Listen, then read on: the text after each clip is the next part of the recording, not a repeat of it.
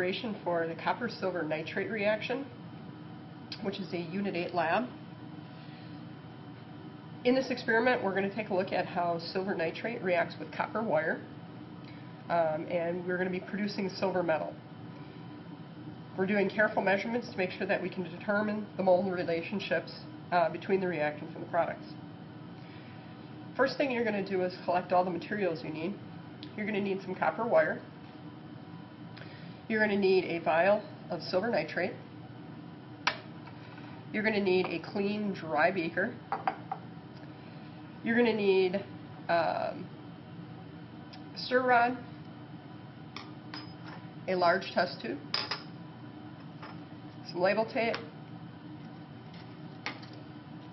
either a small uh, beaker or a graduated cylinder, marker, your distilled water, and finally a bottle of acetone. First thing you're going to need to do is label your beaker.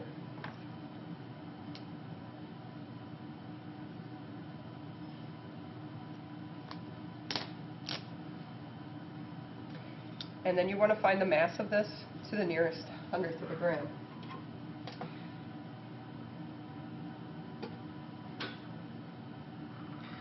You want to continue this process, finding uh, the measurements of the copper wire, the silver nitrate,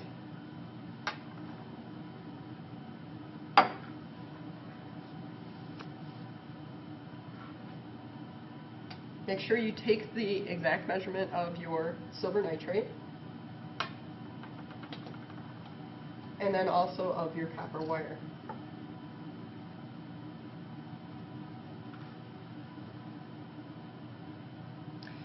And you're going to clamp a clean, dry test tube to a ring stand.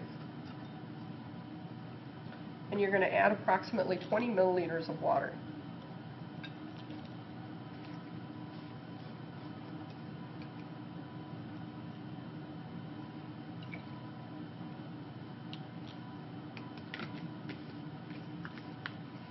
Make sure that your water is distilled water. When in doubt, refill your bottle.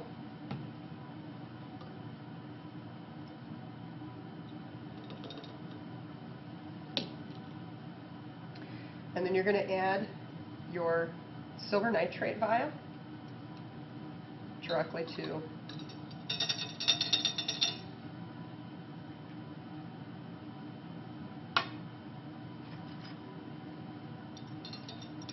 give it a stir.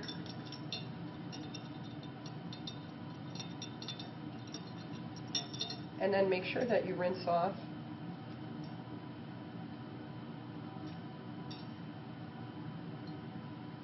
your uh.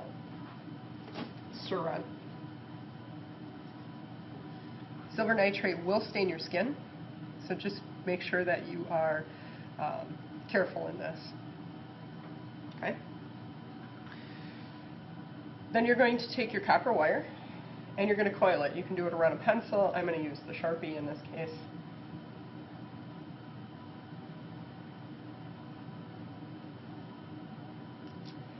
And then you want to stretch it out so that it's a little bit longer than what the test tube is. It's pretty close. Stretch it just a little bit more. I also put a little hook on the end of mine. Um, that way when I insert it, it'll hang at the uh, at the edge of the uh, beaker or the test tube and not slide in.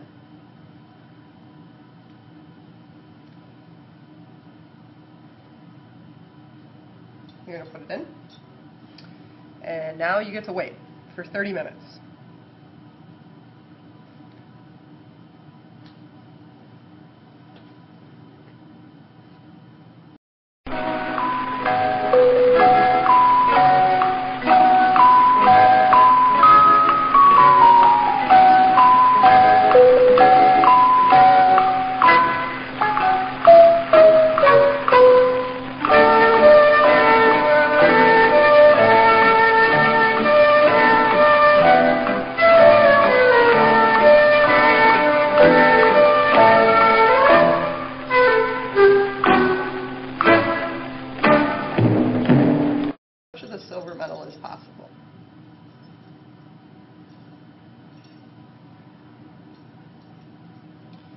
We're going to carefully use some DI water to rinse the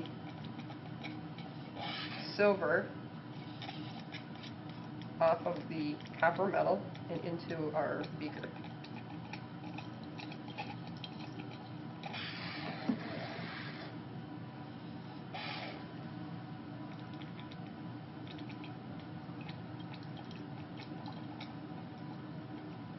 Do the best you can to get as much off as possible.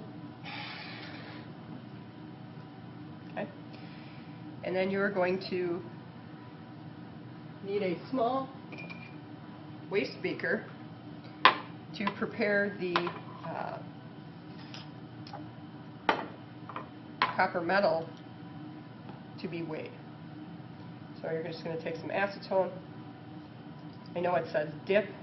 We're just going to do a quick rinse. And then you can just set your copper wire aside to dry. Take the rest of your test tube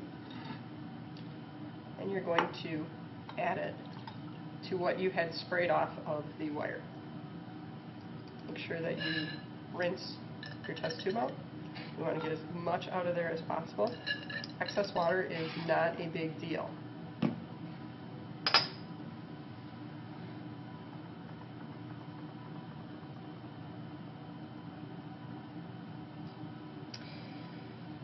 Now we're going to let this settle. Takes a little bit. You have very small particles of silver. And then we're going to um, decant the solution off. And just like you had done in the uh, nail lab, we're going to prepare the silver um, for drying and weighing. For the copper, once the copper wire is dry, and acetone helps it to dry a little bit quicker, we need to make sure that we take the mass of the copper after the reaction has been completed. That will tell us how much copper was used up in the reaction.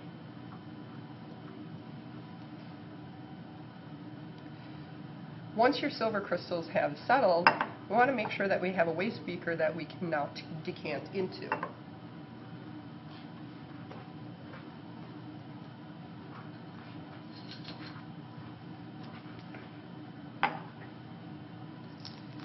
So just like we had done in the nail lab, we're going to decant very carefully, pouring off all of our excess water and keeping our silver crystals at the bottom.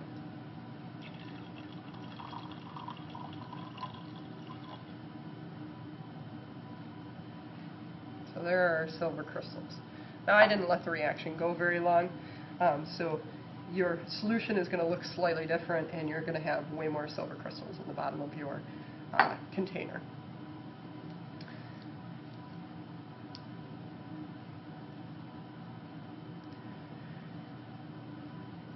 Follow the rinsing instructions using DI water, and then we're going to dry uh, the silver in the drying oven. And that is pretty much all you're going to be doing with regards to this lab.